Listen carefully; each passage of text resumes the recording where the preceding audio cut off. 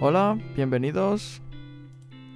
En el vídeo de hoy os voy a enseñar a cómo descargar Blender 3.6, la versión LTS.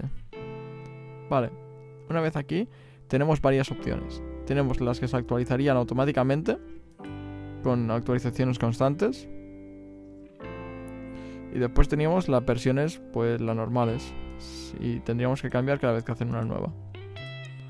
En mi caso voy a descargar una de estas, una versión normal, para eh, Mac con installer. Si la queréis portable, simplemente descargaríais esto y lo descomprimís. Voy a descargar. Blender es una aplicación open source, así que cuando le dais dinero, literalmente estáis mejorando la aplicación, porque ellos cogen con ese dinero, lo invierten en la aplicación, así que a largo plazo sería como estar pagando para una versión mejor de Blender. Vale, vamos a continuar con el tutorial. Le damos a abrir archivo.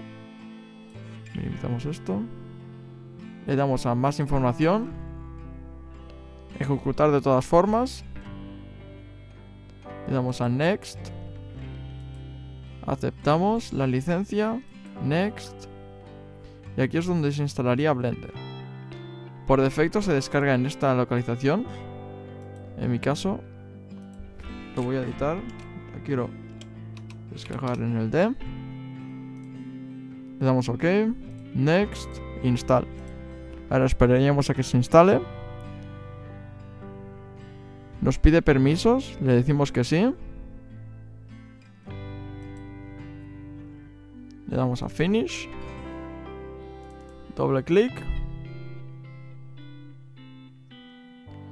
Le damos a English y ponemos Spanish. Si lo queréis dejar en inglés, pues dejarlo en inglés. O si podéis, queréis ponerlo en catalán o en cualquier otro idioma, le daríais, pero aquí tendríamos los idiomas que están completos, en progreso, que estarían como a medias, y los que están empezando a traducirse. En mi caso lo voy a dejar en español. Vale, pues hasta aquí el vídeo de hoy. Si os ha gustado, darle un fuerte like, suscribíos y nos vemos en la próxima. Adiós.